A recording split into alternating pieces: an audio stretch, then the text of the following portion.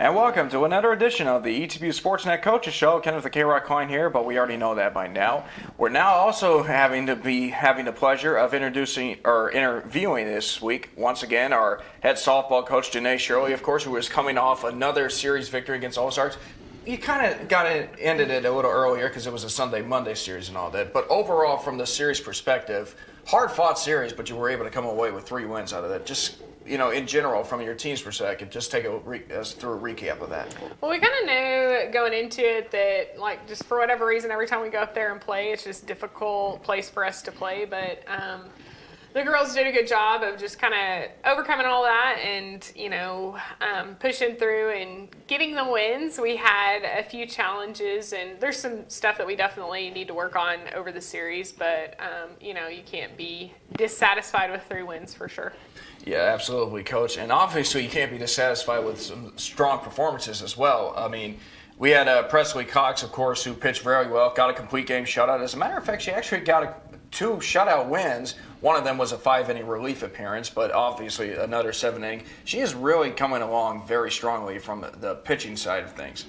Yeah, for sure. Presley, um, coming into this year, she was you know, um, somebody that we kind of added to like our recruiting late in the process, and you know, we're really excited about her, and she is definitely each week she continues to get better, and she has a really high ceiling, and you know, she's provided an opportunity for even B to be more successful. Um, you know, giving us the ability to not have to throw B when her stuff is not working or she's not, you know, at the Centenary game, her foot was like messed mm. up. And so, um, that has really opened the door for us to be able to do a lot of things. And both of the girls are hitting the ball really well. And so it's really just been kind of a smooth transition. But we've been really pleased with how she's continued to progress um, every week. Absolutely, coach. And also a strong career day for Mackenzie Anderson as well. She had six RBIs in that last game. Um, you know, with six RBIs, a career high for her. Just talk about how she's just kind of been, you know, able to work herself back to having that strong performance.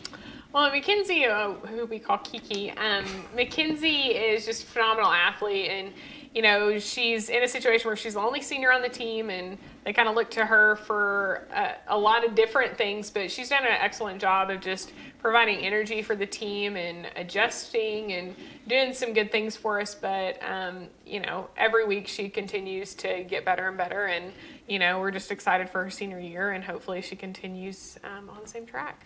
Absolutely, and we'll worry about her when senior day comes around, which is not this weekend, of course, obviously. But uh, you know, it feels like this week it's LeTourneau week because you got tennis playing LeTourneau, and then baseball's got a series with LeTourneau at home. You got a series with LeTourneau this weekend as well, but also that on Saturday, of course, it's your annual cancer game. So just you know, obviously another one of your themes, of course, for the team. So just talk about that in general.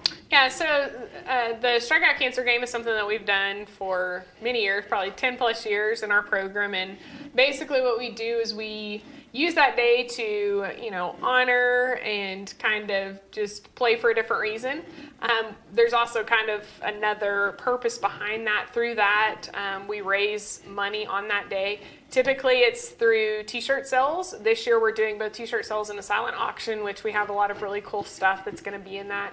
Um, but all the proceeds to that go to a cancer fund on campus, and we're able to provide financial support to faculty, staff, or students or their immediate family members that are kind of going through difficult um, times and battling cancer. And, you know, that's been something. Uh, like a really big blessing for our program, and I think it's been a blessing for a lot of people in our ETB community that we've been able to kind of just it's you know not anything big, but just knowing that people are there praying for you and supporting you is awesome.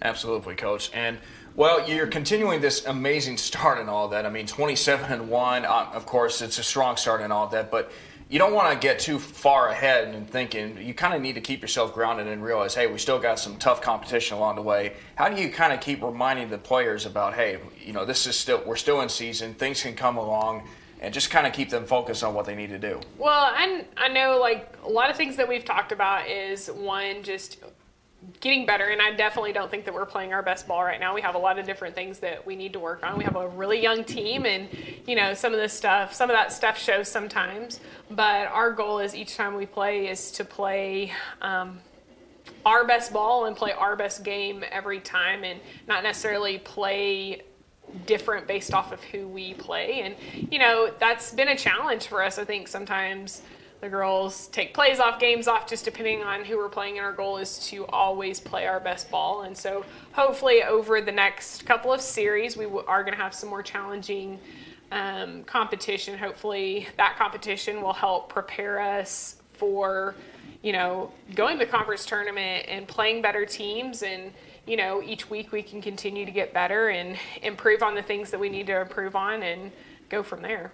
Absolutely, Coach. Well, we will look forward to watching you girls play this weekend at, against LeTourneau University at Taylor Field. You won't want to miss out on that as well. All right, folks, that'll wrap things up for this time around. We'll talk with head coach Shirley next week on the ETBU Sportsnet Coaches Show.